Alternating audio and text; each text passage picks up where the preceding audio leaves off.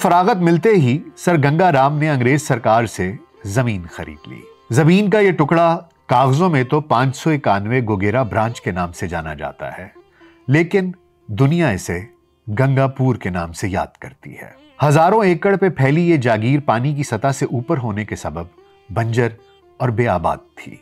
गोगेरा branch की नहर बहती तो थी, मगर पानी को बुलंदी की तरफ़ कौन लाता? आखिरकार सर गंगा राम ने एक बहुत बड़ी मोटर मंगवाई और इसके ज़रिए पानी को गाँव तक लाने का फैसला किया।